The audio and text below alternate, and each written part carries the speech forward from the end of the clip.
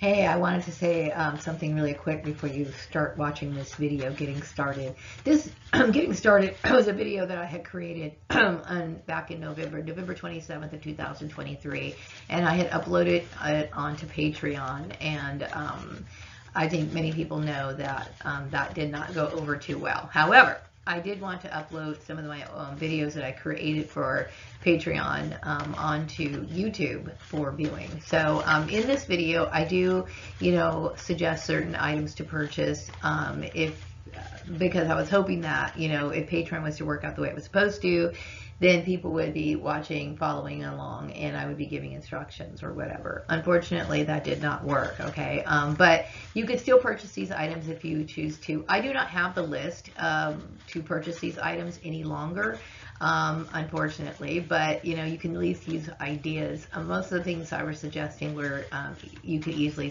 you know, get on Amazon if you choose to do that. Okay, I'm going to go ahead and um, let you get started in this video and I hope that you like the video and I hope that you will subscribe and I also hope that you will hit the notification bell so that you don't miss any further content. Okay, let's get into the video. Thank you for joining me. Today we're going to go over what you're going to need to create your sacred space and the supplies you'll need to cast spells. Having an altar or sacred space in your home is an old tradition practiced by many cultures around the world. Each spiritual tradition has her own way of setting up an altar. Although the purpose of the altar is similar around the world, the altars themselves can be quite diverse in appearance. As a sacred space, your altar is your unique place for contemplation, meditation, connecting to the divine, and of course for spell casting. Your altar will be most powerful if you personalize it to suit your own style and taste. The only right way to set up your altar is the way that feels right for you. In this video, we will be discussing how to set up an altar space for spiritual use. We will discuss ancestor altars in a future video. How will your altar function? Will it be a permanent setup or temporary? If you have a special room or space to set up an altar permanently, that would be ideal. An altar is best set in a quiet, out-of-the-way space that will allow you to meditate, perform spells, and reflect in privacy. You should always use a flat surface for your altar. If you have enough space, a dresser with drawers will work just fine. You can use the top as a functioning altar and store your supplies in the drawers underneath. Another great option would be a desk with a shelf above. You can use the desktop as the altar and store your supplies in the shelves above. An old table can also function as an altar. You may choose to keep your supplies in a cabinet close to your sacred space to make things easier when it's time to perform a ritual. Not everyone has privacy or space to have their altar set up every day. In the past, I had been in living arrangements where I was limited on space, so I had to use a bookcase as my altar when I wanted to perform spells, and then I would remove all my special tools after it was completed. A coffee table, end table, bookcase, the top of a dresser, or any flat surface will work great as a temporary altar. I have moved a lot in the past few years, and moving heavy furniture from place to place really is not my thing. Sad to say, I only own three pieces of furniture that are made of real wood. If you're lucky enough to own real furniture, keep in mind that wooden furniture contain energies of the wood they are made from. Here is a brief list of wooden furniture options. Yes, you can perform a prosperity spell on a cherry wood table. The purpose of providing you this information is to make you aware that everything has energy, and if you do use that cherry wood table for a love spell, then that table will provide additional love energy into your working. Whether you already have the furniture that will serve as your altar or you're planning on purchasing it, it will have to be cleansed to remove all the energy and physical debris that it had before. Do a general cleaning first, meaning use regular cleaning supplies for furniture such as wood cleaner or polish. Then focus on the spiritual cleaning by smudging it with sage or an incense with purifying energy such as Palo Santo or lavender. I'm going to demonstrate how to smudge your furniture. You can either use a stick of incense or a stick of sage. I am using sage. You're going to need, of course, a sage stick or an incense stick. You're also going to need a lighter.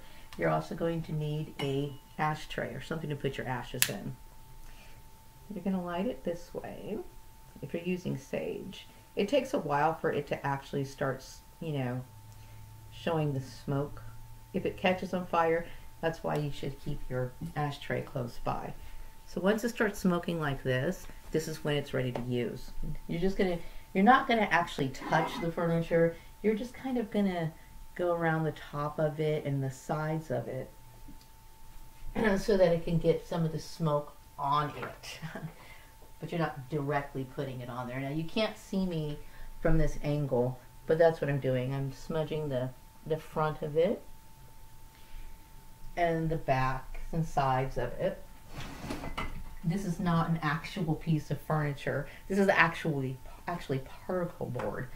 A lot of people use particle board, and I moved around so many times. I don't really have the ability to carry furniture, so it's easy for me to just tape this up, and then the movers can just put it into the moving van. So also, you're going to want to make sure that you go into the dressers drawers as well. Make sure the smoke goes in there. Hopefully your drawers are empty, but I'm doing this just as a demonstration. And then once you're done, you're going to place it back into the ashtray and snuff it out. Thank you. Once you've moved your altar into its space, you can start adding all the fun stuff. Altar cloths can be a different can be different colors and designs. I keep a few different ones on hand for various magical uses. When choosing an altar cloth, it's best to keep in mind what the working is for. This will give you a clear idea on what color or pattern to use. For love, you may want to use hearts or cupid arrows. For wealth, you may want something with dollar signs on it. You can search for altar cloths on Amazon, or you can do like I do and go to the fabric store, where you can find a, an eclectic variety. You can choose seasonal patterns like fall leaves, poinsettias for the Yuletide season, etc. A white altar cloth is standard and can be used in place of any other color if you don't have it on hand. When going to the fabric store, make sure you have the correct measurements for your altar. The elements of earth, air, fire, and water have been used as powerful tools for practitioners of the occult since the beginning of time. Representations of the elements should be a part of your spell casting since your altar during spell work is a small universe that you, by focus and intention, are making into a reality just like the real physical plane. All of the elements have a corresponding direction and representations of them are placed on the altar. Some use candles to represent the color of the elements, while some use symbolism such as stones and crystals. I will go over each element to give you ideas on which you want to use on your altar. Keep in mind they are only suggestions. Remember, your altar should reflect your personal taste and how you associate objects for use are based on your own personal preferences. For example, for earth, the color examples given are green, brown, and black. You may see the earth represented as a tan color. In this case, feel free to use the color that feels right for you. The element of earth is represented by the colors of green, brown, or black. The direction of the earth element is north. Items to represent earth can be salt, dirt or soil, flowers or plants, stones or crystals. The element of air is represented by the colors of white, light blue, or yellow. The direction of the air element is east. Items to represent air can be a bell, a feather, or incense. The element of fire is represented by the colors of red, orange, or gold. The direction of the fire element is south. Items to represent fire can be, of course, fire, thunder or lightning bolts, or a knife. The element of water is represented by the colors of light blue or turquoise. The direction of the element of water is west. Items to represent water can be, of course, water, rainwater, fish or mermaid-shaped items. Ceremonial magicians work in a circle that represents the four elements. In the beginning of my experimenting with magic, I too worked in a circle. I found that when I compared the circle methods with other forms of magic, such as hoodoo, that this was not necessary since the purpose of the circle is for one, protection, and the other is to call in the watchers, which not everyone uses, but can still be represented through the use of element symbolism. There is a widespread belief among several cultures around the globe that mankind has been visited by interdimensional travelers from another world. The Watchers are extraterrestrial beings that helped shape our civilization. In southern Europe, they were referred to as the Grigori, or the Old Ones. The Grigori means those who watch, or those who never sleep. In some legends, they are said to have come from the stars. Some speculate that they once lived on Earth in ancient places like Atlantis, or Lemuria. These angelic, or some would say alien visitors, appear in ancient texts are referred to as the Watchers. The Watchers are mentioned in the Torah and are regarded as guardian angels. The Hebrew word would be I-Y-R. I believe it's pronounced Ire. The Bible makes reference to them in the book of Daniel, chapter 4, verses 13 through 17, when a messenger visits the Babylonian king Nebuchadnezzar through a prophetic dream. The Watcher is believed to be an ancient race that has evolved beyond the need to have a physical form. The Greeks reference them to mark the four winds or directions, north, east, south, and west. In modern practices today, such as Wicca, the Watchers are referred to as the guardians of the watchtower, and each being rules over a directional point, making a portal of the four directional quarters for the ritual circle. The guardians are now referred to as the archangels. Raphael would be for the east, Michael would be for the south, Gabriel would be for the west, and Uriel would be for the north. Here is an example of how a circle works. You may wish to incorporate this into your working. Feel free to do so. Keep in mind, I now only use an altar without working in a circle. A 9 foot diameter circle is drawn with chalk on the ground. Once inside, an imaginary circle is then traced with a sword, a ritual knife referred to as an athame, or your index finger. While in the circle, an imaginary light is visualized to seal it in. Since the sun rises in the east, many start the circle with calling out to Raphael first, the archangel of the east. The invitation to the guardian may sound something like, Raphael, guardian of the eastern air, I invite you to the circle. A tea light candle in a yellow candle holder can be lit to welcome Raphael. Then move on to the next direction in the circle. Michael, guardian of the south and fire, I invite you to the circle. A tea light candle in a red holder can be lit.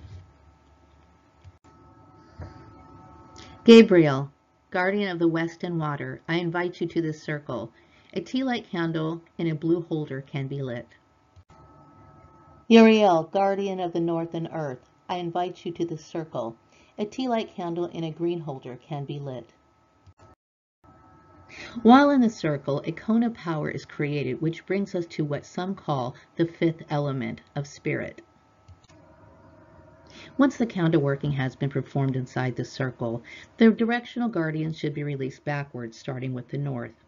Thank you, Uriel, for assisting this magical working. Please depart with peace and love. You can then extinguish the candle. Thank you, Gabriel, for assisting in this magical working. Please depart with peace and love and you can extinguish the candle.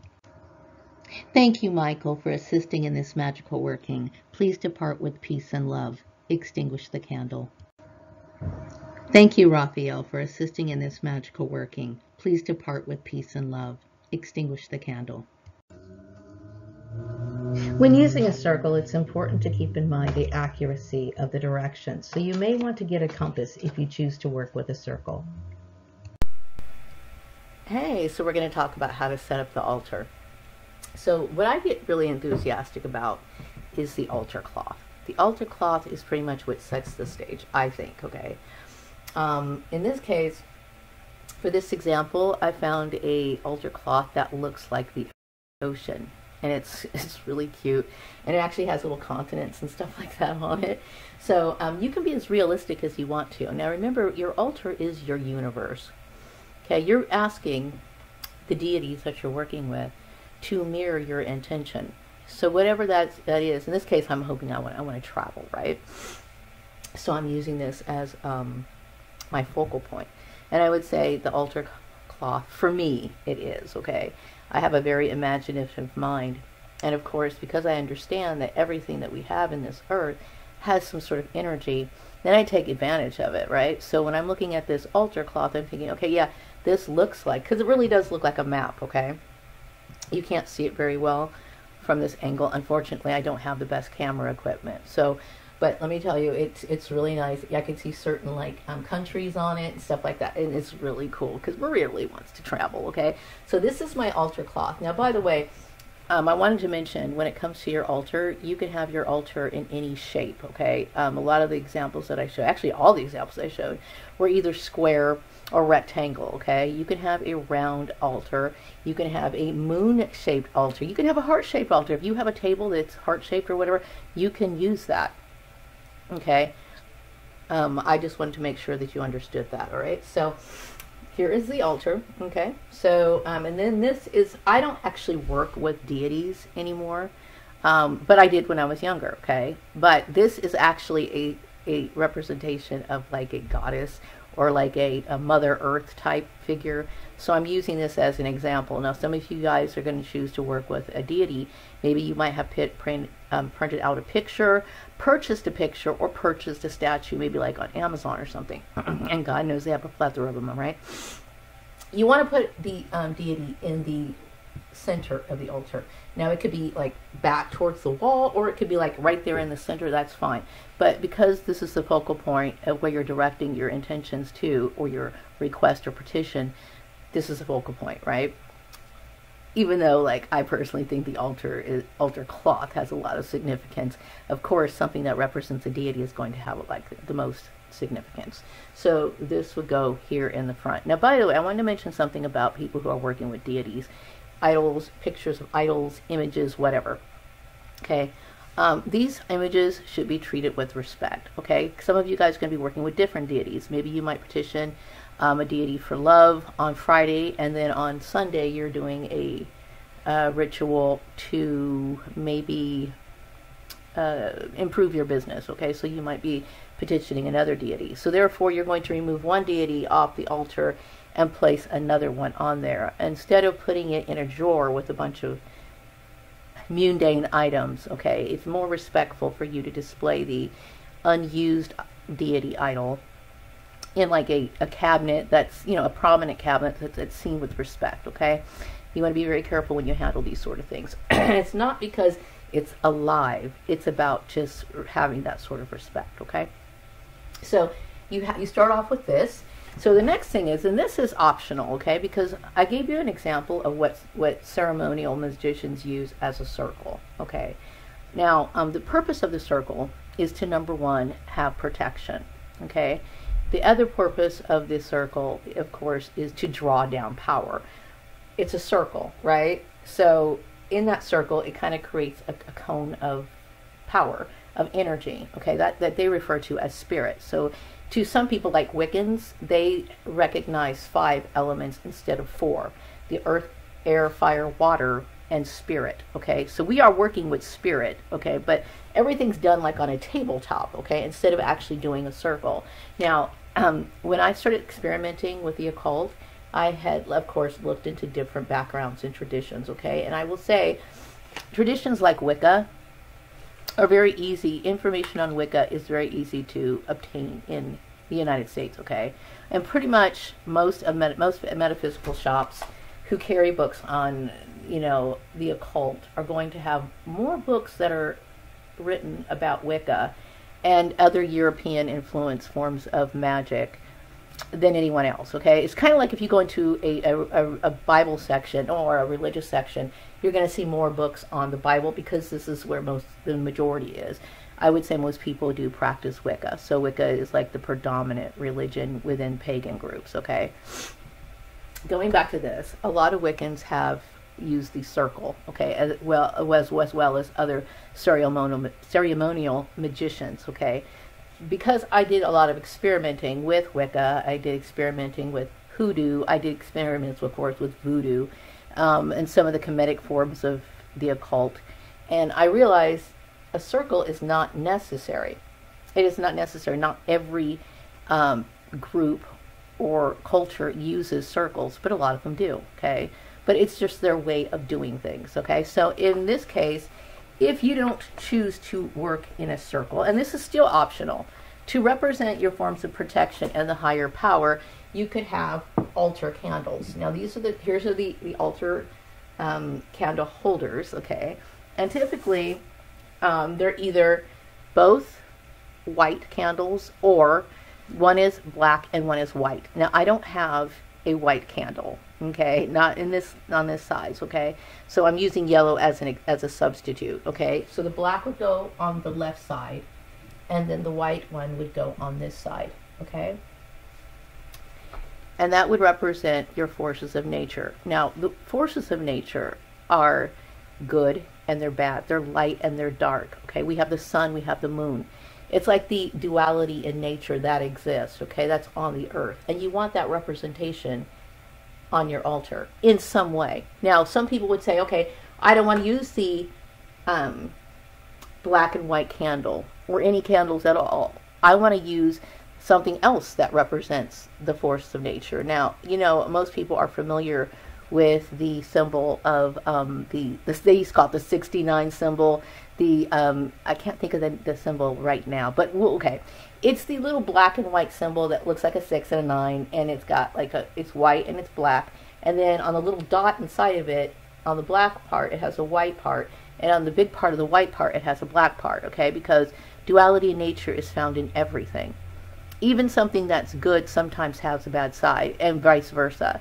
Okay, so this is a representation of it. What you could do is with that, you might want to use a form of dressing oil. Now, dressing oil is for candles, but it's also used for other things. But most people who use who who work in candle magic use a dressing oil, and the dressing oil is appropriate for whatever it is that you want. Okay, in this case, this is like a protection oil. Okay, and I will put the names um, of certain companies in the description box for people who are interested in using um, per, um, not just protection oils, but you know what they call it is magical oils, or some use just regular essential oils. In this case, this is one of the magical oils. Okay, um, they use herbs in it that have magical, or I should say, spiritual qualities for protection. Okay, so this is protection oil um, that I would use for these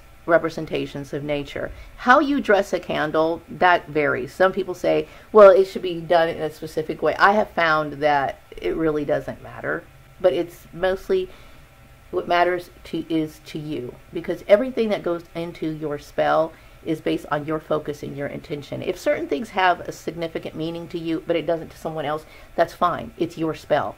You're putting your energy, your thoughts, your power into it. So it's that's what makes it more powerful. So, like I said, I'm giving examples, but it's actually you who is actually doing this, okay? So it matters. What matters to you, okay? So you would take some, some oil, right? And have a little bit on your, your fingers, and you would take the oil. This is how I learned how to do it. Starting from the middle of the candle, you would take the oil and move it up the candle from the middle, from the middle, okay? Once the top is done, you're going to take some more oil and move it down from the bottom, starting from the middle. Okay, and you're going to put it back on here. And then you would do the same one, same thing for the other white candle. Okay, now, here you go. Now, we're going to start talking about the significance. We talked about the elements earlier. And the elements can be represented in many different ways, okay? Um, we usually start off with in the circle most of the times. If you cast a circle, me people start off with with the um, east direction. Okay. Now, obviously, we're not working in a circle because my my altar is facing east. Okay. By the way, you can face your your your altar in any direction of your home that you feel comfortable with. Okay. Um, that's up to you. I put my altar in the east section mainly for space reasons, okay? But I can work in any direction, it doesn't matter. Some people have their own favorite directions. And as you become more of a metaphysical type person, you're going to be very sensitive to certain things. You may not, you might even change your bedroom because you don't want your, your head facing a certain direction because you're going to become more sensitive to these sort of things, okay? It doesn't really matter to me, but if it does to you, feel free to do whatever. My altar is facing east, okay? So in a circle, the altar would be in the middle, or it would be more like in the north, is, is usually what I remember. But we're not working with a circle, okay? But we are trying to represent the elements that they see that it's so important to add in their circle. We have to have this on our altar because we want to reflect a, the reality or the world around us as much as we possibly can. So we have the duality of nature, that's a fact of life. So my representation of air, I'm going to start off with air, east, right, is going to be incense. Okay, now incense is generally used in a spell anyway, okay, but we're trying to represent forces of nature. Now I could say, well, I'm not going to sit here and like add more in another um, uh, symbol add more symbolism to the air element because I'm already using incense. If you just want to, if you want to use the incense just for the air symbolism, symbolism, which is you're going to have to use incense anyway. Okay? Incense is a part of most workings, okay? But if you wanted to add something else, like in this case, I'm adding a feather, okay? A feather that I had found uh, that fell off of a bird. That yes, I'm one of those people. I like going for walks and picking up objects like rocks and bird feathers and stuff like that because they have magical power. So in this case, I'm going to add a feather with my incense, okay? Um, in this case, this incense burner I got, there's several kinds of incense burners you can get, okay? And I like this one. I don't know if you can see it very well. Let me see if I can hold it up to the camera. This one has um, the little zodiac signs on it, and it has a sun in the middle. I thought it was cool, okay? And it wasn't very much, but um, you know, you can find objects that have symbolism. So feel free to use candle holders that have, you know, symbols on it that you're interested in. Like maybe if you're interested in luck, there, there might be like a four leaf clover candle holder that you, you want to grab. Um, if you're interested in love, you can buy like heart shapes. If you're, if you're interested in like being satisfied, having abundance, you can also have um, candle holders with you know how they have like a basket of fruit or whatever, or like the cornucopia, right? That symbolizes abundance. Okay, so those are the sort of items that you want to bring into your home and start collecting anyway, because those things signify or they, they represent what you want in life. Okay, so this is what you're going to be doing, you know, throughout your your um, journey of becoming more mag- magnetic to the things that you want in life. Okay, so in this case, I thought that this represented like something cool and something otherworldly, so I decided to get this. Okay, you you can go ahead and find incense burners anywhere. Okay, and they're very inexpensive. I, I I've picked this one up. I think the Dollar Tree. I've seen them at Walmart. I've seen them at all the other stores. Um, I even see them at grocery stores. Okay, so I have my representation of air. Okay, now what's next would be the south right? So the South is, I'm not sweating the South right now. Why? Because I really don't get into like the South. So in, what I'm saying is, is like fire, the fire from the candle, for me, is going to represent um, or, or give enough fire energy. In some cases, some people might want to lay like a knife um, on this part of the on, on the, the their their altar, okay, um, to represent fire, or they might have a lightning bolt, or they might have like a um, don't know something that that represents something fierce or passion or something fiery, you know what I mean? Or a dragon, a, a representation of, of, a dragon, like a little dragon um, figurine or something, just to represent that element of fire, and that's completely fine. Okay, so for water, I decided to just I like this little blue glass. I thought it was really pretty. It's it looks like a little cauldron, really. It's got like three legs on it. So here is my representation of water. And for earth, I decided to get a plant. Okay, now this plant, I'm not going to keep it here. I'm actually going to put it in my backyard in a bigger plant, um, in a bigger pot. But I figured for the for this video demonstration that would work. So I have that, and then I also decided to add a few crystals. Now we're going to go over crystals and their their power in another video. Okay, but a lot of crystals crystals can be used for additional power to a spell, okay? Each crystal has its own vibration. This is citrine, I believe, And this one here is like a just a regular type quartz. And I'm going to go ahead and put those on the altar as well. Okay. Um, just because they add power. Now, generally, when you start putting things on the altar, you want to make sure that they're cleansed. Okay. In my first video, the sun video, that was the first video that I made. I do discuss on. Uh, I do have a video in the video. I do discuss how to make holy water. Okay. Um, you can buy holy water, but you can also make holy water, and you can also have extra if you buy the salt. And you know, um, you can always make whip up a batch of um, holy water anytime you want to. Now, I know you probably thought, well, only I thought holy water could only be made by like priest or something. That's not true. Salt naturally has purifying spiritual effects, so it can anybody can make it. All right, so let's see what else are we doing. Okay, so I'm going to go ahead and start with talking about candles. Okay, now typically you want your altar candles to be taller than your working candles. Why? Because it's kind of representing the forces of nature, which is something that is outside of us. Okay, so I I like to think of it as something you know bigger than us, right? So I always make it sure that my altar candles, when I used to use them, I don't really use altar candles anymore, but when I did use them, they were always taller than my other candles. Okay. Um, I'm going to suggest that you start off with using chime candles. Chime candles can come in sizes of four to six inches. Okay. In this case, I believe these candles are. Let me see. I got a ruler here. Um, take a look. Measure this candle. I never really paid attention and it doesn't say it on the box. Okay, these are four inch candles, okay?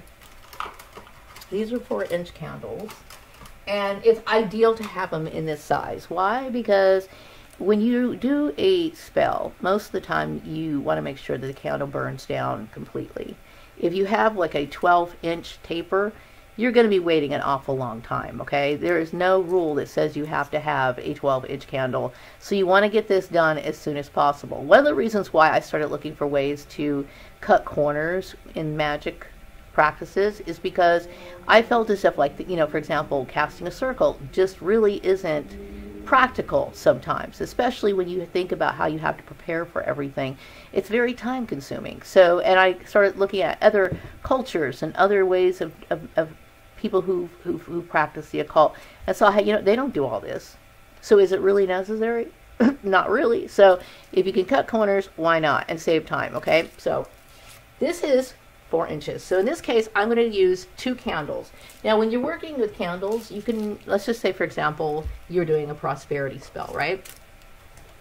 Your prosperity spell, looking for the other candle. Okay, your prosperity spell um, might just you just want to you might just want to represent prosperity, and that's the only candle you want on your altar. Okay, maybe sometimes you might want to represent other people. In this case, you're going to use more candles. You might use two candles to represent somebody. Let's just say, for example, you hang out with a group and you, you you're you're doing something, okay, and you want to you want your friends to be receptive to the idea that you're posing, okay. So you have two candles to represent them, and one candle to represent you. Okay, it depends on what's important in your mind and how you see things. Like I said, you know, you might be doing a spell to uh, maybe influence a bunch of people. In this case, you can just write the group or something. Or you can actually have, like if there's five people in the group, you can have five different candles in there if that's what you want to do, okay?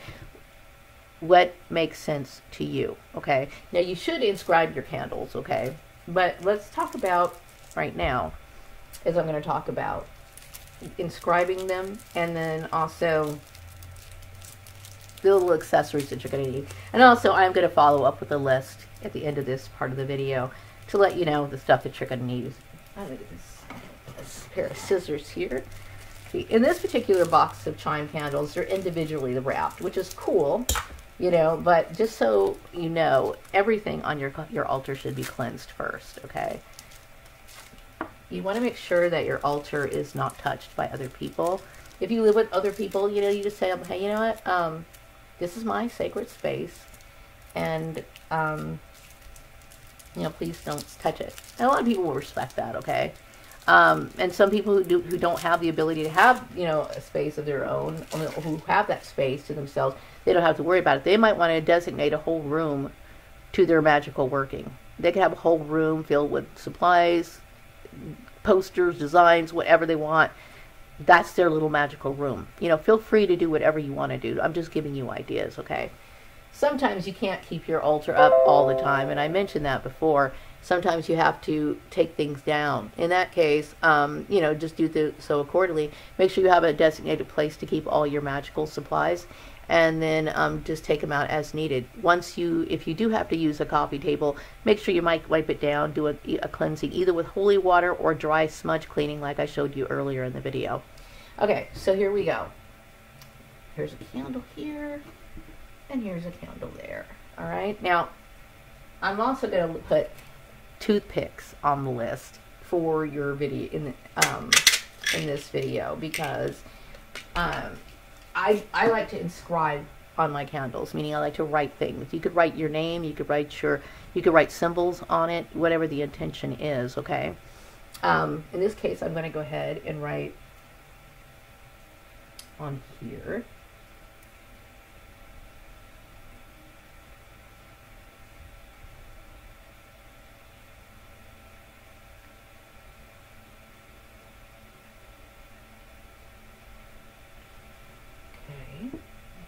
Thing. And another thing, you know, um, you're probably wondering, what is she writing on there? Here's the thing about magic, okay? Magic is secrecy, okay? You don't tell people what you're doing spells for. You don't share what your intentions are. It's not because you're trying to be sneaky or disrespectful. What you're doing is you're building power. Okay. Have you ever had an idea? You were like really gung ho about it. You are like filled with excitement. You are like totally stored with all this energy. You shared that idea with somebody and then after you told them, you really weren't on fire anymore. Okay? You dispersed energy. Okay? When it comes to magic, all your energy goes into your spell. Okay? That's why secrecy is so important.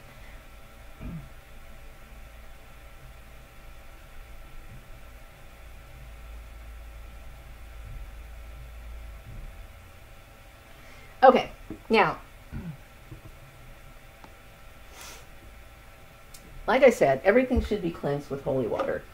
Okay, now I also want to talk about this particular water. This is Florida water. Now, Florida water has been used by a lot of hoodoo practitioners as well as voodoo practitioners in the South. Okay, um, it is a alternative to holy water, and you can use it. Okay, um, I do keep this, and you can find it. Um, even Walmart sells it. Um, you could use this that as well, and you can use holy water to cleanse your candles. Okay. Also, keep a box of Kleenex, or get yourself a um, a box of like, you know, cleaning cloths that are designated for your ritual use. Okay. In this case, I'm just taking a little bit of holy water, and I'm just kind of cleaning my my candle a little bit. You know, first. Okay. It's already been inscribed. I already wrote what I wanted to say on it. Okay. And now I'm going to dress it with some oil. Okay, now this oil is called Road Opener. All right, because Maria wants to travel, right? Okay, so in this case, I'm just going to take a little bit of the Road Opener oil. Here we go. And like I said, you start with in the middle, in the middle, raise it up, and then bring it down with the oil. Make sure that it's completely covered in the oil. Move that.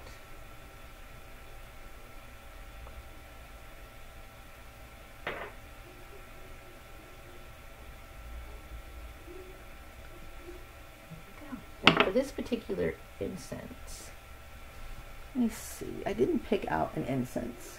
Let me grab one.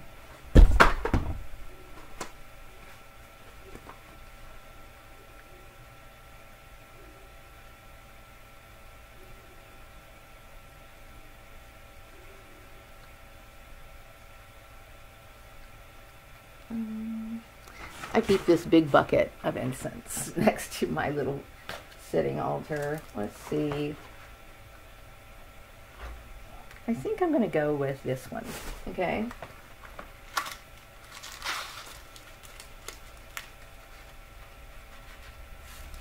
And I'm going to put it in my incense holder like this.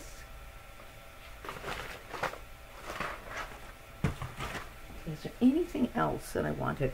I wanted to talk a little bit more about the um, the um, inscribing on candles, and I will put this in the list. I use a toothpick. Now, when I first started working with the occult, okay, I, like I said, I studied a lot of different traditions. At one time, I did have what they called a boline knife or boline knife. Okay, this is a boline. This is a ritual use ritual a knife specifically used for ritual. Okay, what it's used for, it has two purposes: to inscribe on candles or inscribe on other things, writing. Okay which I found using a blade awkward on small four inch candles. So I stopped using it. I don't know what happened to that knife. Okay, but if you choose to use one, that would have to be cleansed too before you use it. Most of the time when you have those sort of items, they come with their own um, case. If not, go ahead and just wrap it into a, um, a nice cloth that you, you like and that you feel is, it's going to protect it and keep it with all your other magical supplies, okay? All right, so also, you might want to purchase a butane lighter. I'm going to recommend a butane lighter for the the sole purpose of the, the flexibility. Okay, with in in your your practice of magic, you're going to be using different kinds of candles as you go on. And like I said, you know, their candles come in different shapes. In this case, we're starting off with chime candles, okay? But you can get you can get candles in all kinds of shapes. If you're interested in buying a house, they have candle shaped houses. If you want to do a spell on maybe yourself or someone else, hopefully with their permission, you can purchase candles in the shape of skulls.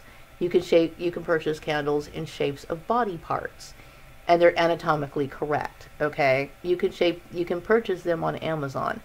Just go ahead and put male and female candles, and they'll a whole you know different varieties will will come up. And I've used those in the past, but I don't really get into all of that anymore. As I've grown, I don't really need as much tools, and as you start becoming more familiar with magic and, and making sort of certain connections in your mind, you will you will rely less and less on props. Like I call all of this stuff props because I don't really use it anymore. That's why I don't have like certain candle colors because I don't need it as much anymore. Like I can, I pretty much can work within my mind. Okay, but going back to the candle holder. okay, you'll sometimes you're going to use novena candles. Okay, novena candles can be dressed just as what just as much as these candles that stand alone like this. Okay. But what you would do when you would dress a novena candle is you would poke holes in it. You can also inscribe on the candle. Just you would inscribe on the top surface of the candle and then you would just take some dressing oil and rub the rub within the circle of the candle. The reason why I recommend a butane lighter is there's times when you're working with novena candles where you have to extend, extinguish it and come back to it in the next day or so.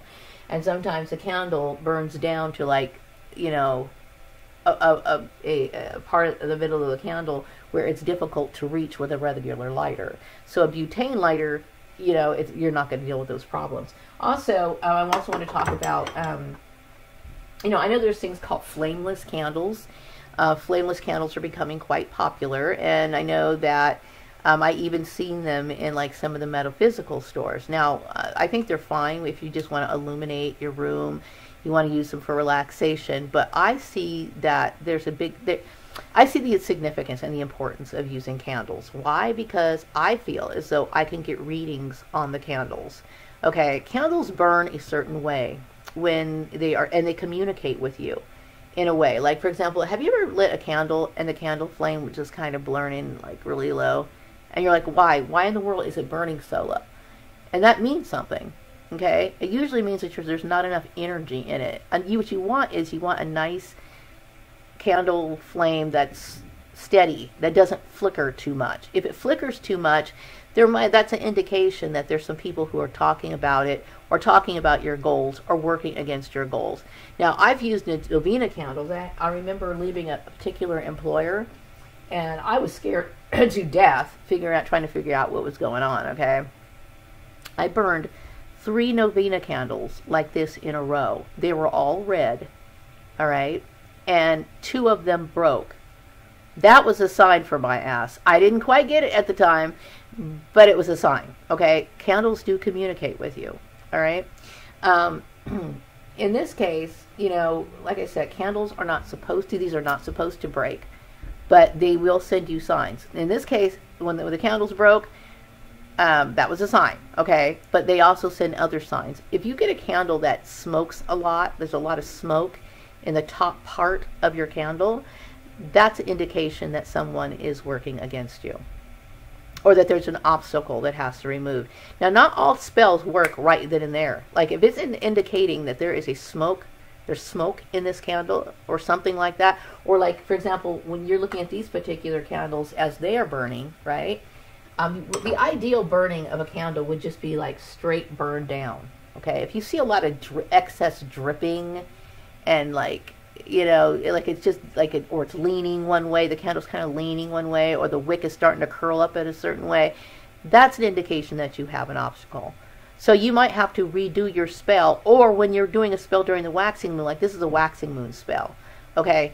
During the waning moon spell, you might want during the waning moon phase you might want to do a spell to remove the negative energy that's going on around your spell okay? It might be a working process. Most of the time when you're working a spell it takes about i would say a moon phase about two weeks for you to start seeing signs if it's something simple.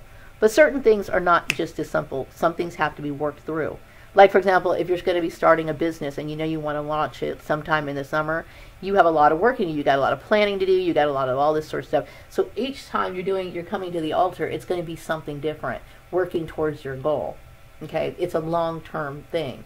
Some things are quite simple like for example you want to get the attention of a guy right?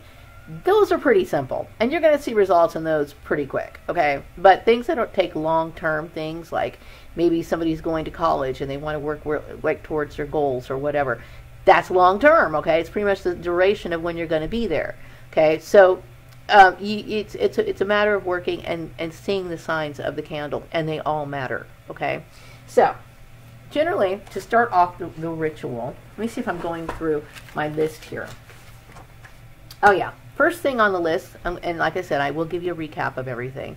You're going to get a book, okay? Now I keep a notebook of my my um, rituals and, and things that I've done, like, you know, candle burnings and stuff like that, you want to make sure that you record the date, the time, and the moon phase. Also, um, the items that you used in the ritual. Okay, and you're also going to get this book so that you can take notes. Okay, so if you didn't take notes before, start taking notes, okay? You can easily pick up a notebook anywhere, or you can get something fancy. Like some people who, who call themselves witches use what they call a book of shadows. A book of shadows is basically a list of all their little magical secrets and spells that they keep in the book. Um, you can do that too. And they do have some pretty fancy ones on Amazon. Just type in Book of Shadows and you will be able to find a plethora of beautiful Book of Shadows, even things that look like Harry Potter type stuff but if that's what you're into, they have it. So go ahead and check that out. Also, um, in the, in practicing magic, it's kind of looked upon as a negative thing to blow out your candles. Like I said, there's times where you might be doing a spell that takes a few days, okay, and and so you're going to extinguish the candles and come back at the same time the next day, but you don't just want to blow out your candles. Now, I know, eh, like in birthday cakes, we blow out the candles. That particular and yes, a birthday candle cake cake uh, ritual is basically a spell. It's basically trying to wish you a birthday, happy birthday. It's long lost its meaning, but that's basically what it is. And it's okay to blow out your candles. But when you're ritual in ritual during altar, um, in at the altar, okay, during rituals, it's ideal to use a candle snuffer. Okay, so what you would do is, I'm just going to do this really quick to give you an idea let's see here.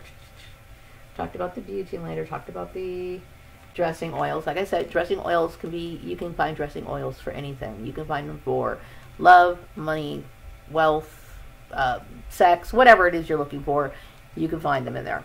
Um, and the butane lighter, the toothpicks, or whatever. And the representation of the elements, and then the candle snuffer, and then talk about it.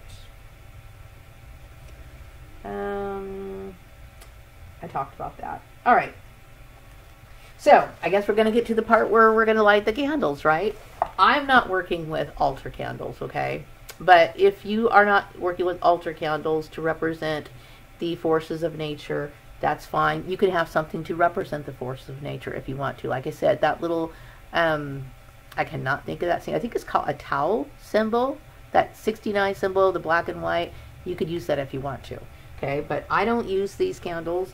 And if I did use these candles, and like I said, okay, I want to make sure that I, I, I, I make this very clear. These candles would not, you would not expect these candles to burn out all the way. Okay, so if you do a love spell and you use these candles, you're going to extinguish them at the end of your love spell. Okay, and chances are they're still going to be kind of tall. Okay, because the other little candles are probably burned down by then. Okay, the next time you do a spell, you would use it for a prosperity spell or whatever. These altar candles are always going to be used for every ritual until they burn down and you replace them. Okay, they're always going to be a part of it if that's what you're into. You, like I said, you could use a um, a symbol for that instead, um, like a black and white checkered, um, what do you call it, cloth. You could use um, anything that's black and white, anything that represents those forces of nature. You don't have to use candle, and you don't have to use the 69 symbol. You can use something else, okay?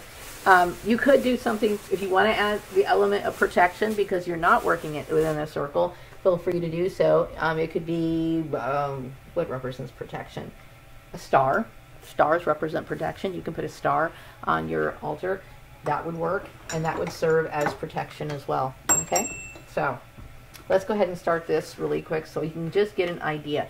Now, as we go through other videos, I'm going to be talking about writing spells specifically, okay? But this is just an idea of what the altar looks like and how it's it's set up, okay? That was the purpose of it. But you know me, I just kind of go on and on and on. But anyway, um, so but when you do write spells, you want to make it kind of melodious, okay? So if you have the ability to write poetry or music, then that's right up your alley. You're not going to have any problems at all. For people who like me who aren't so good at that sort of thing, I'm just doing my best. Keep in mind, this is not like a deity like Aphrodite. I'm not working with Artemis. I'm not working with, you know, Bridget or any other deity. This is just a beautiful goddess that I did get at a store that does not have any sort of history behind it other than the fact that she's holding the world. Okay. Um, you could, I guess you could call her Gaia, you know, if, that's what you wanted to call her, you know. You could give her a name, I guess that, that wouldn't hurt, but this is just an example. So I have my elements. I have my earth. I have my air.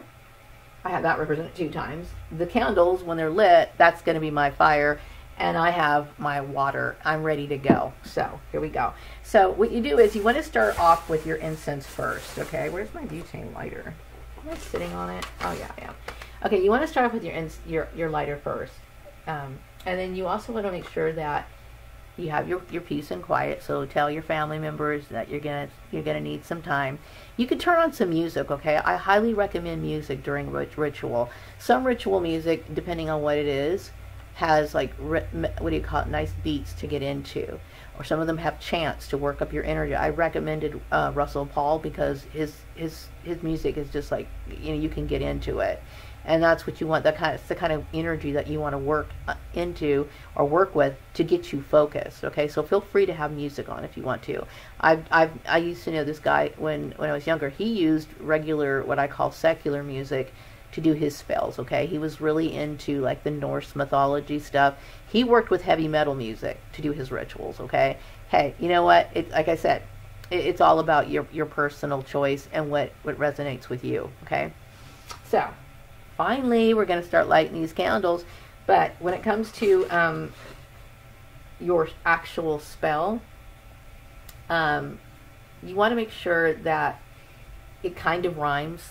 And if you can't rhyme, that's okay, okay? Because it's really, I'm sure the deities understand your intention, okay? And please forgive me for not being the best writer. I'm writing this as a form of, of as a as a demonstration, okay? I don't have great writing music um, writing abilities. Okay, so I'm I'm kind of cringing as I'm saying this, but I think you guys get the message. So what you're going to do is you're going to always start lighting your incense first. Okay.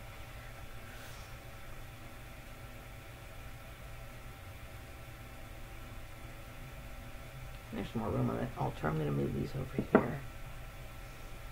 Down. Okay. Now, like I said, you can like cringe if you want to, because I'm to cringe too, because I really don't like, you know, sharing things I write like that with other people, but, um, you know, whatever. Anyway, Mother Earth so far and but yet so near, around the world may there only be happiness and cheer. I know, it's horrible, right? But anyway, I ask today that in this hour, my soul tribe will be will understand magic power. Horrible, I know. It's terrible.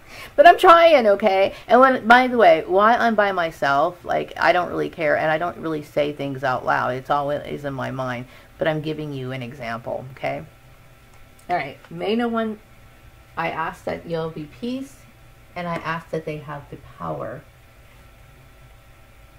and then you you close it by asking that there no harm will be done like some people who practice wicca say by the power of three times three let no one be harmed so mote it be and the reason why is because once magical energy starts working up it's got to go somewhere and it's got to find the resources to give you what you want now let's just say for example you have um, you're asking for a money spell Okay, and so you're working up this energy. This energy is going to start looking for where you can get that money. And your rich aunt might be able to give you that money, but she's not ready to die yet, right? So that's why you ask that no one be harmed because magic is not good or bad, it just is, and it just does, okay? So you make sure that people are protected and you ask that no one be harmed, okay? That there'll be more specific things as we go along. I just wanted you to see the altar. But as I was running my mouth, I wasn't lighting the candles, okay? So the candles right now are lit, okay? And of course, you know, I would repeat this spell. Isn't it? Oh, that's beautiful, isn't it? It's gorgeous. Ooh, maybe I don't want this to get caught on fire, so I'm just going to move that a little bit. Okay, so what you want to do is you want to make sure that um, you know, once you say the ritual, and generally I would recite that ritual. You want to make it short too, sweet and concise, because you're going to repeat this about three times. Okay, Th- repeat what you're going to say to your deity about three times, but at the end, definitely make sure that no one gets harmed. Okay, and then of course you're going to let these candles burn down. Once they're completely burned down, your ritual's done. Now, mind, mind you, you can walk away and go about your business. You can go ahead and do the dishes. Make sure you check in on your altar because you know you don't want to ever leave candles alone. Okay, but I'm saying is your ritual is done. You don't have to sit here and like watch it the entire time. You can actually get on with the rest of your work. Your intention is already set and you're ready to go. Okay, I think I pretty much covered everything in this video, and I will. Um, finish up. Thanks.